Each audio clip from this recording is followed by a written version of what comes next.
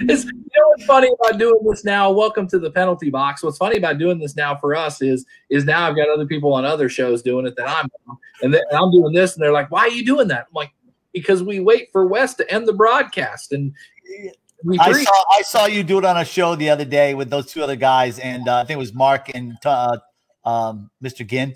Uh, yeah, yeah. They, yeah. had no, they had no idea what you were doing. No, they, they had no idea. And it they was thought you were actually, they thought you were frozen. So yeah, yeah. Hey, welcome back to uh, the show. Excited today. Uh, one of you know we've done this I think what 18, 19 times now, and our views keep going up and up and up. And and I'm really I don't want to say this is the one I'm the most excited about so far because everybody's special, right? But but Jesse Cole is going to be on today, and we'll bring him on in a few minutes. But um, I kind of by luck ran across, I say luck because I'm totally lucky that I know him now, but ran across him by luck where someone happened to like a post of his on LinkedIn and it right. popped in my timeline. And I'm like, well, who's this dude in all yellow? This looks weird, right?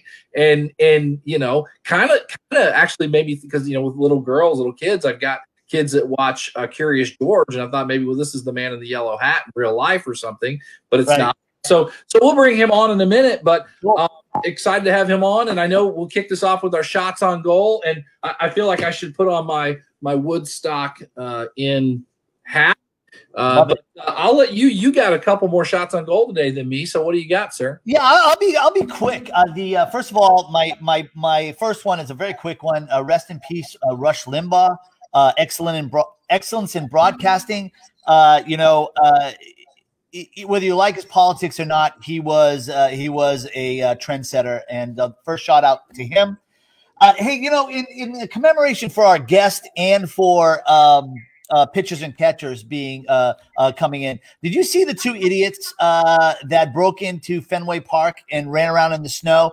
And then I have not seen the video. I heard about it, but what what what happened? What happened? Yeah, it was about a month ago. They they broke in and they filmed themselves, and and and they you know, there was a guard, and they got away from the guard, but then the idiots went on and uh, posted it on TikTok. So uh, uh, they've been found and arrested, uh, as far as I know. So that's my first real shot on goal, and my second is you know what you know and what you don't know about Bitcoin. All right, so. It, it, went over fifty thousand this this uh, this week, and uh, I'll yes. tell you this did a little researching. You know, was founded by this guy, uh, last name Nakamoto, and no one really even knows who he is. And but the first, and I think that you'll like this, the very first um, purchase ever recorded uh, as a purchase with Bitcoin was in 2010, and Pizza. it was a, a program that bought two. He bought a programmer bought two uh, two pizzas, right? So yeah. you, know, you do the rough math. Uh, there's 16 slices in these two, right? And based yep. on yesterday's pricing uh, and it takes about 15 bites they average to uh, to finish a slice of pizza. So yep. yesterday's uh, at yesterday's prices, that's uh, two million dollars a bite. So um, yeah, I saw that as well. Um, someone shared that, and and I saw that. Thought that's pretty uh, pretty amazing. Kind of, you know, I'm not a Bitcoin guy, so I I you know yeah whatever. Um, I only have one shot on goal today. Um, the Red Sox traded uh, Benintendi, and yep. basically our whole starting outfield from World Series team is gone. And I, I just like I want to be. Ex- I got, you know, I love baseball, right? Sure. I love I love the Red Sox, Patriots, Celtics, Bruins. I love all of them. Uh, but I couldn't get into baseball last year. It just it just felt weird. It felt weird watching it on TV. It just didn't seem right. It just and and and and so hopefully, and I don't know what it's going to look like when the season starts back up, if people will be allowed into Fenway or not, and what that's all going to look like. And I'm sure um, Jesse can talk about that.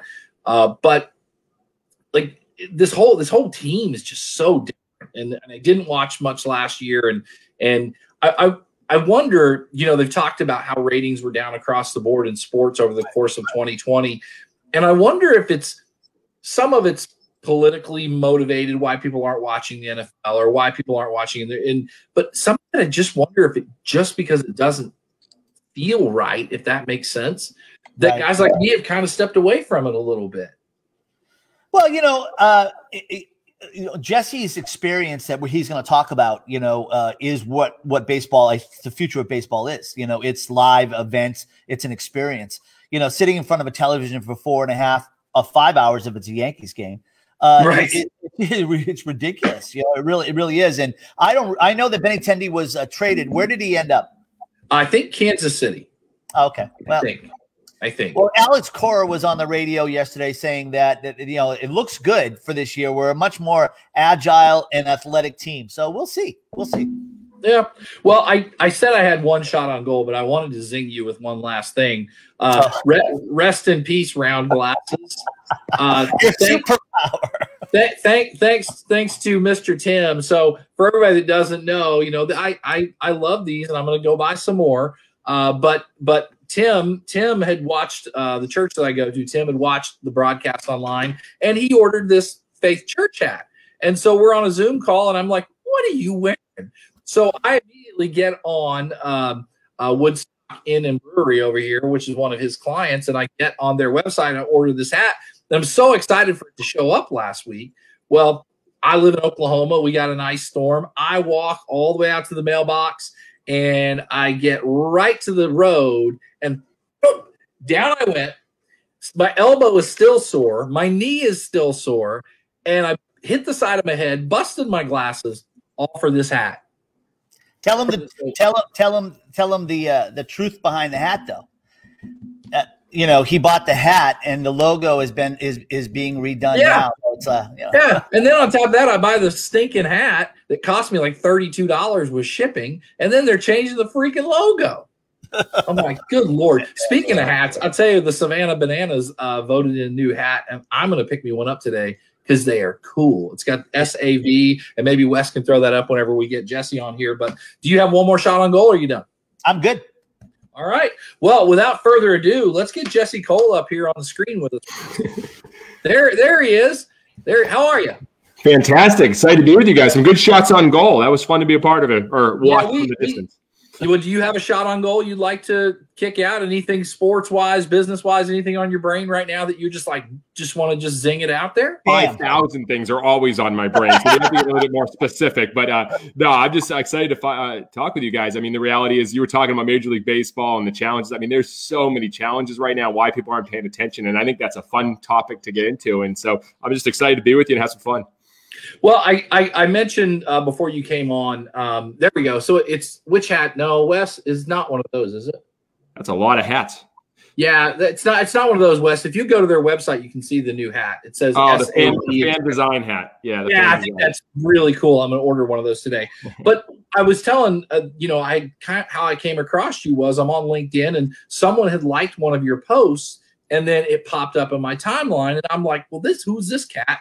And i watch and, and one of the things you do that i love is you do these like little one minute boosts right? And it, it and and they're not they're no wes it's the one down here on the bottom i think. Anyway you do these one minute boosts and they're awesome and i would tell anybody to jump on linkedin and connect with jesse follow jesse and and and the one minute boosts are really good and you know sometimes I think we overthink motivation or we overthink, you know, and sometimes you talk about just the basic stuff, and sometimes we just need a little kick in the butt. And I, I love those one minute boosts. Can you talk about those? Like, what thought do you put into? Hey, this is what I'm going to talk about. Do you? well, thank you. Literally one of the five thousand things. You're just like, let's. Yeah, well, motivational speaker was never my goal. I just, you know, thinking about five years ago, my wife and I were sleeping on an airbed. You know, we had to sell our house. We had to empty out our savings account. We were down to our last dollar um, because our team was failing. And I was too afraid to share things back then. I was just trying to survive.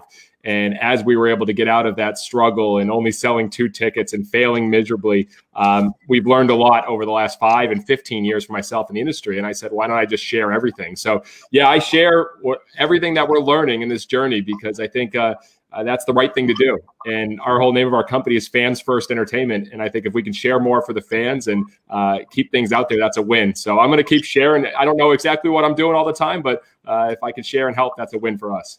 Yeah. How many uh, yellow tuxedos do you have? Way too many. Uh, the, the, the, reality is, uh, I have seven of these. I actually proposed to my wife in a yellow tuxedo in front of a sold out crowd. Uh, I actually stopped the game in the middle of a game uh, and had a huge fireworks show. The umpire and the coaches were like, When are we going to play? I'm like, This is our moment. And thank goodness right. Uh, she said yes.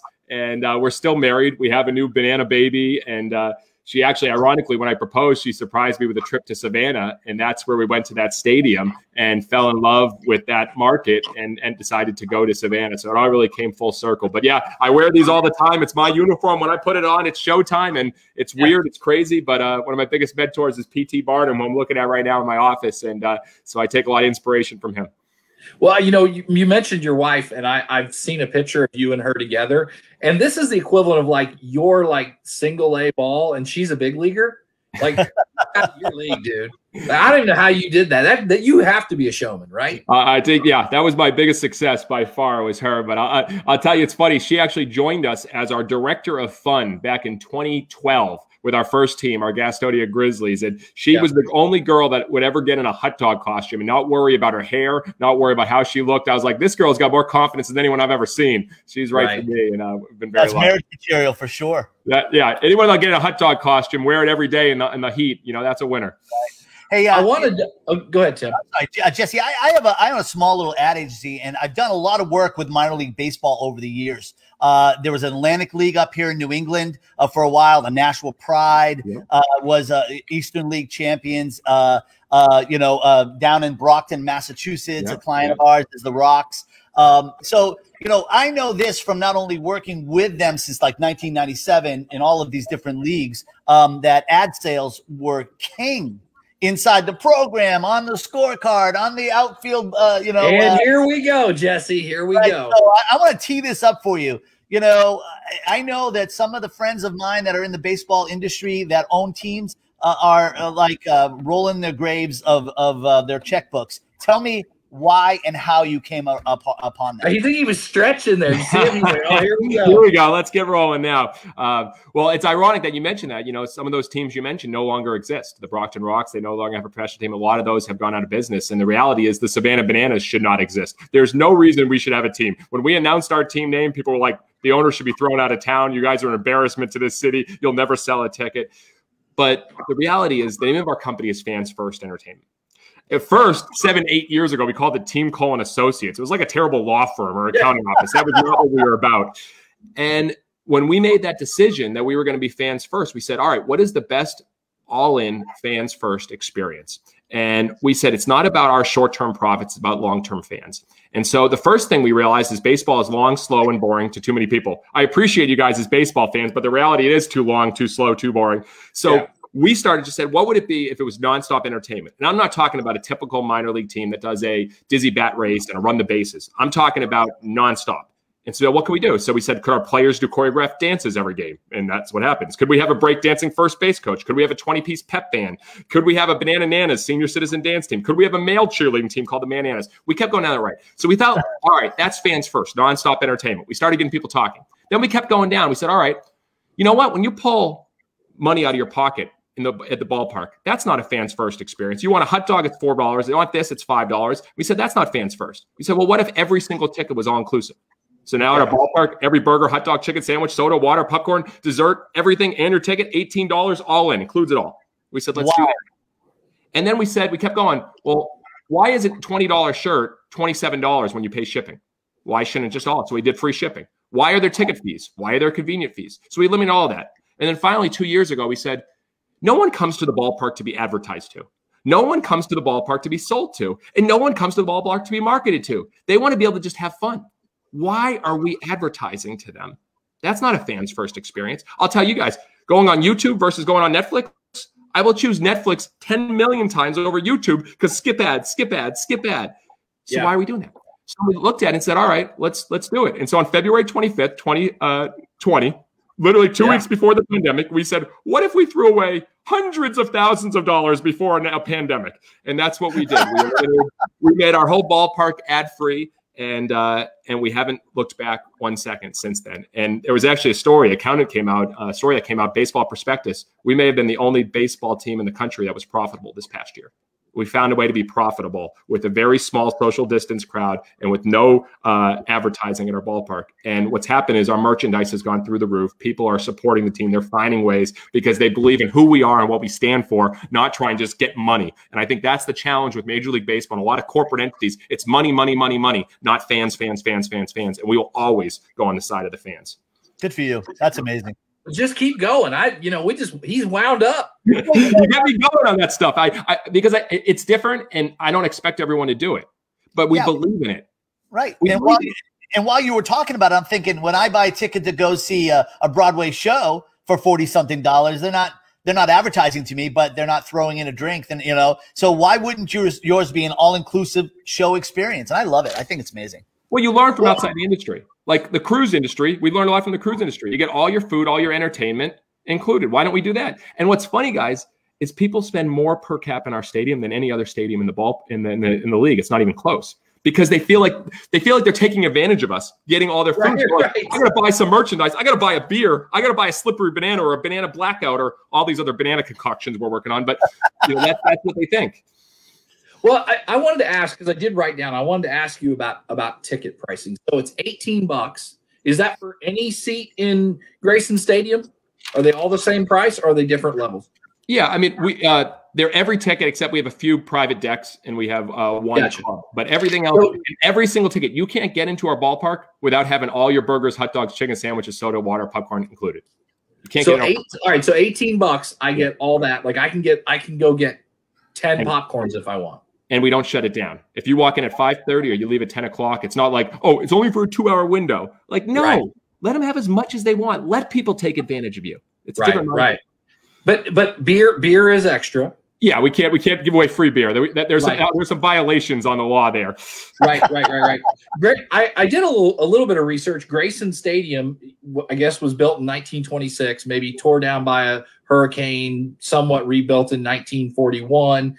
What is there anything you want to do to the stadium in the future to make it be- bigger, better, um, better for fans? But what do you want to do to the stadium moving forward? Well, that's the right question. The, the, the right, yes. The question is, what's the future fan experience? What are fans looking for in the future? Is baseball sports going to be a continued spectator sport, or will it be different? When you go to Disney, you control your own experience.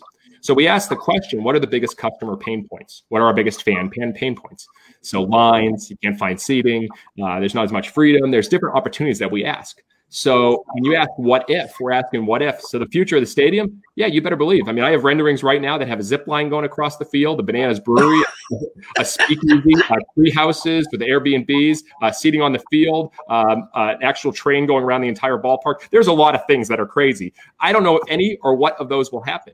But the key is to reimagine and invent on behalf of your fans. This is yeah. what Amazon's done really well, and this is what Disney always does. They invent based on what that future fan experience is. And those are the questions we're asking. But you're right, it's an old ballpark, no digital scoreboard. I mean, our bathrooms when we first got there, there were troughs, guys, you know, like the horse trough that you pee in. yeah, I mean, so now our bathrooms aren't that great, but I'll tell you, in each men, men's urinal, we have a, a Macon Bacon, our rival team. We have their urinal cake, so our fans are pissing on our rival every night. Love it. Love it. Love it. Um, I'm I'm sure you're a Bill Veeck guy. Hundred percent. Right. And Mike. Uh, how how do you think? I, I look at like from a sales standpoint, a guy like Zig Ziglar as an example, right? Who was cutting edge and was somewhat yeah, cutting edge in, in the sales world back in the day. And I wonder what he would do with social media now. If, so if Bill Veeck was around now or social media was around then, how do you what do you think he would would he be like, holy crap, we can reach people on a totally different level than he never could? Oh, 1000%. He would go to where the fans are. So, for instance, I try to ask those questions. What would P.T. Barnum do? What would Walt Disney would do? What would Bill Veeck do? I mean, Veeck was the guy literally would sit with the fans all throughout the game. He would have drinks. He would eat with the fans. He would go Vecking, you know, literally in the middle of night drinking with fans. I mean, he was all about the fans. I, have got a lot of inspiration. We go undercover every single night. One person yeah. or two people on our staff. I take off the yellow tuxedo. I park with the fans. I come in with the fans. I eat with the fans.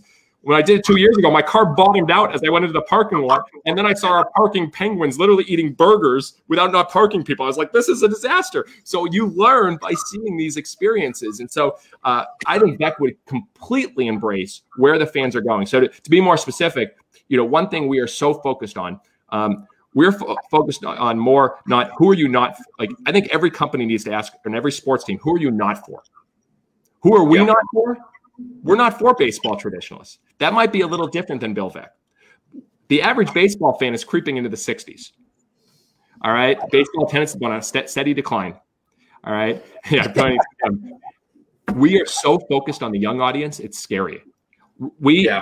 about a year ago, less than a year ago, we said we're going to go on TikTok and just start showing all of our players dancing, all of the fun things that we do, like all the crazy, you know, shenanigans. And we relied heavy on that. Now we have more followers on TikTok than any Major League Baseball team. We're about to hit 400,000 followers because we're focusing on that young audience. That's who our future fan is, and so that's yeah. why we, that's why we play an, a new two-hour baseball game that's action-packed and fast. Because a longer game is not where the game is going. It's not where people want to go. No one, no one. I mean, have you ever guys gone to a great movie or a great show or a great event in the middle of it? You're like, oh, that was fun. Let's leave now in the middle of it. right, right, yeah. Good point. In baseball, it happens every time. We, we, yeah. we are so fortunate. Went from selling two tickets in the first three months and being on an airbed and struggling to now selling out every single game with a wait list of tickets in thousands. People still leave. We might have half the crowd at the end of a game. That's a problem. Wow. Watch what your fans are doing. Don't just think, how can you make money? So that'll actually lessen the amount of money we have because we'd shorten the game with less opportunities for extra concessions or extra merchandise. But it's a better experience, so they'll want to keep coming back. That's the game we're trying to play. I think Bill Veeck would be doing the exact same thing. Yeah.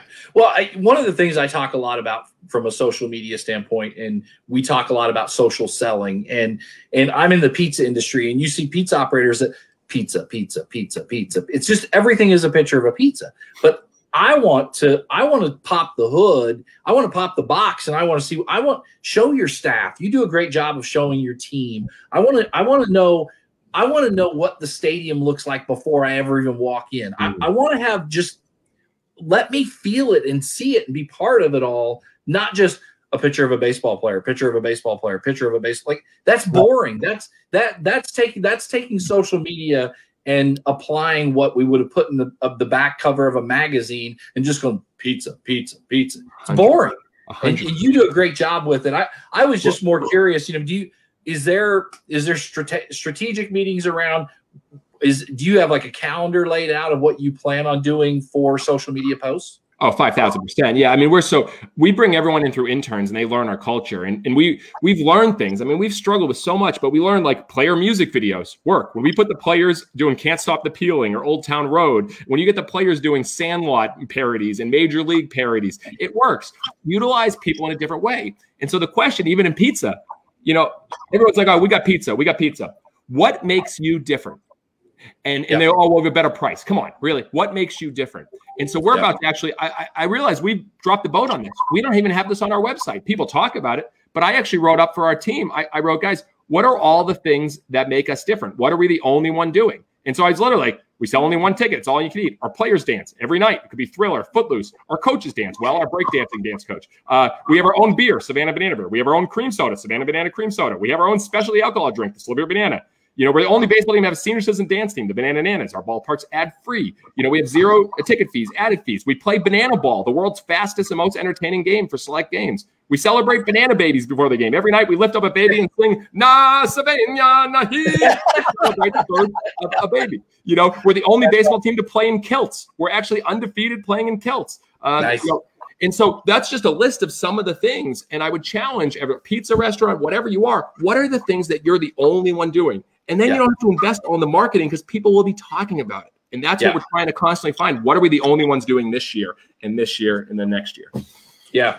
You know, along those lines, well, because I'm in the pizza space, a lot of these guys get so consumed with, well, what are the national chains doing? What are they doing? And I, we be unique.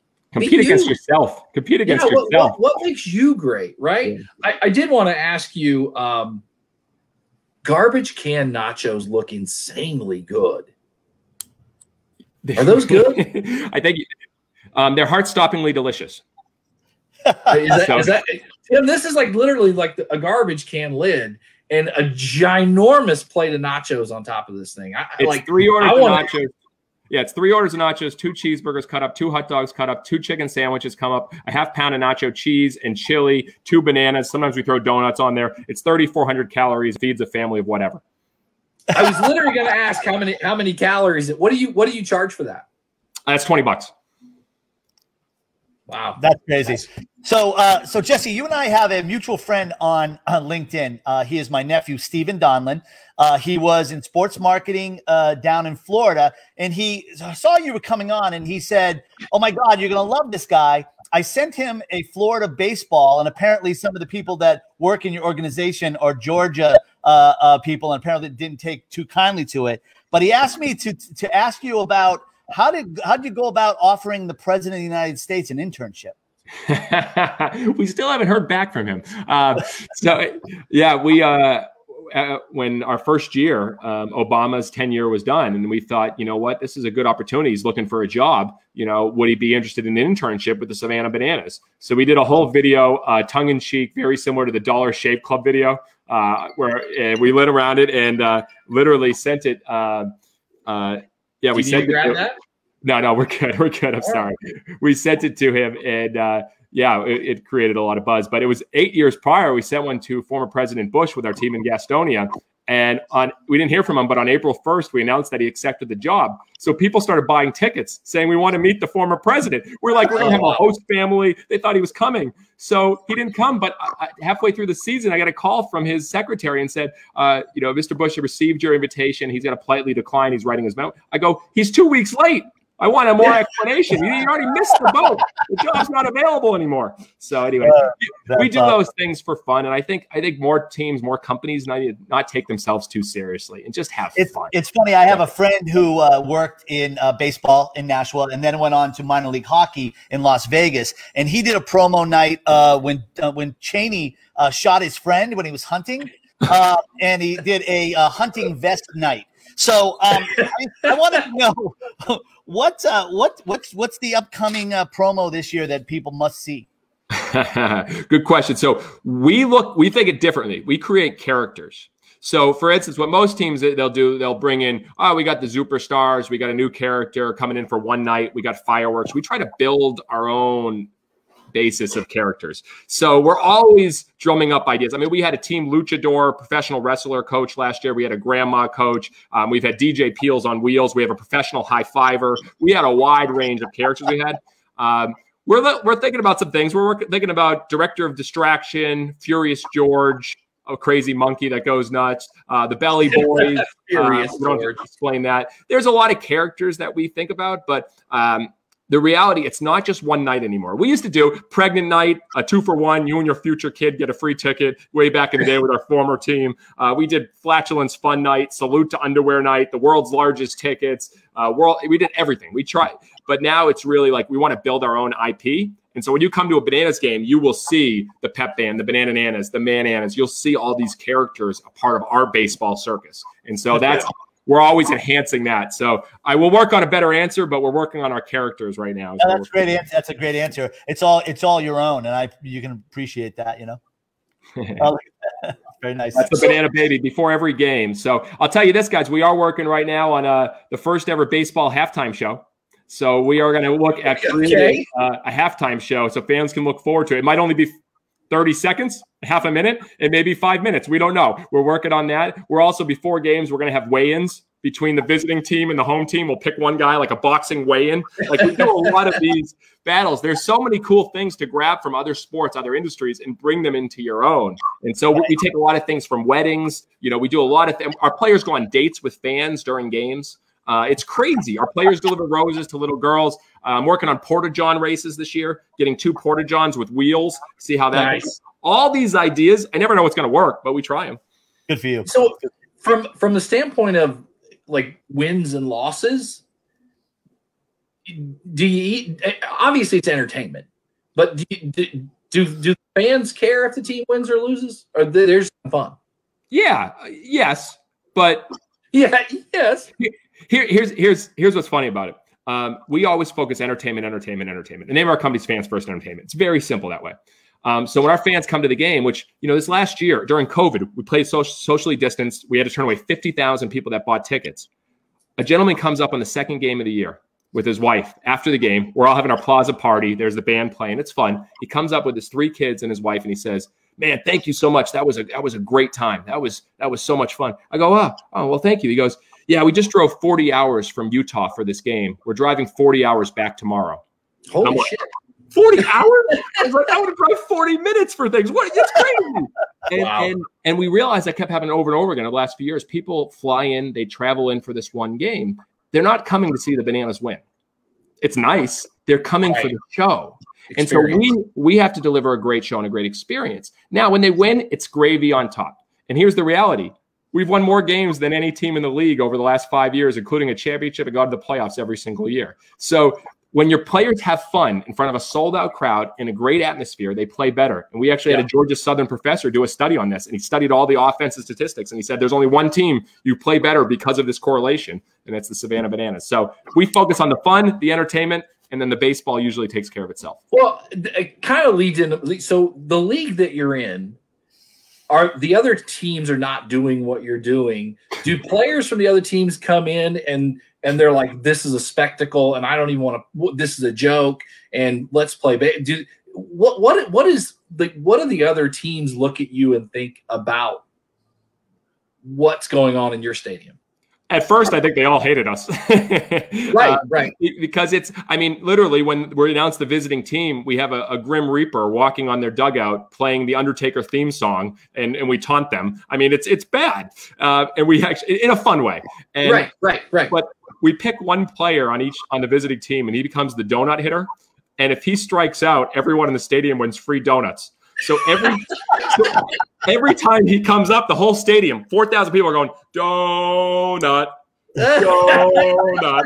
And so it's a point where they get upset, but now the guy tips his hat to everybody after he strikes out because he always always strikes out. To try to hit when people are chanting donut at you is not Right. an easy thing to do. Uh, Right. So what they realize is part of the fun. And then I've talked to so many guys now recently, like they go back to their ballpark, play in front of 300 people, and they come here and it's 4,000 people and it's electric. And they're, they, our guys are treated like celebrities. Our players said when they go out for food, they very rarely have to buy because they're treated like you know all this. So now we Right. get the guys that want to be a part of it and want to play. We have a thousand players that apply or reach out for every year for a team of 30 players. So it's pretty crazy. Wow.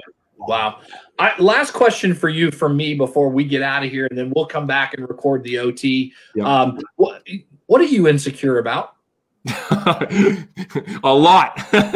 I'm dressing in a yellow tuxedo. You'd think I'm not insecure. No, it's a good it's a good question. I think we all have a uh, a little fear, and I think for me, I mean, it goes back to my childhood. Uh, my, my parents were divorced when I was a little kid, and uh, uh, my mother had a drug problem, and it was just my dad who took care of me. And I was always trying to make him proud and try to fight for that love. And even today, you know, I still, when I'm out dancing with the fans and having fun, I'm fighting for that love and trying to create something special. So I think uh, we all probably care, and I probably care a little bit too much what people think, even though I try to just have fun and not worry about that. So that's a fear. But I would say uh, the biggest, uh, you know, fear from a business standpoint is just uh, irrelevance, not being, not making an impact, not making a difference. And so I'm uh, constantly pushing the envelope, trying to make sure that we can be there to take care of our people, you know, our full time staff, our 200 plus people that work for us, and take care of our fans. And so I want to make sure that we keep pushing that envelope and uh, don't lose that that special thing that we built. Insecurity is a great motivator. You know, Yeah. and so so I'm, I'm always curious. So that that's a great answer. I, I love it. So Tim, you got anything else for Jesse before we before we end Yeah, this? And uh, last last question. Uh, you know, I I love fans first because in business, it's it's in my business anyways. It's it's customer first. Uh, But um, are, are you a baseball fan? Are you uh, uh, uh, are you a more of a, a fan of the uh, of the show? Good question. Um, I played baseball my whole life, college scholarship, everything. A big, big baseball fan playing the game. I'm not. I became not a fan of watching the game, and so now, just like some of the greatest innovators, Walt Disney, George Lucas, they all want to create something that they'd like, create something that they'd want to be a part of that would not make them bored. So now I'm trying to create a game that I would love, that hopefully millions of other people would love as well. So I am trying to develop more baseball fans every day. Well That's done. cool. Well done. well, we're gonna get out of here. Uh, who's our guest for next week, Tim? Who is it? Uh, he is an up and coming TikTok motivational star. His name is Joe Attain. Uh, he has started this uh, movement called uh, Help Inspire, and I think we're really going to enjoy getting to know him. That's exciting. Cool. Well, we will get out of here. We're gonna we're gonna get Jesse back on for a few few more minutes and talk a little more baseball and and maybe some other stuff. Um, but other than that, let's get out of here. And you know, Je- Jesse, we, this is how we do it. We wait for for West to end the broadcast. So You have to put your hand. Come on. Jesse.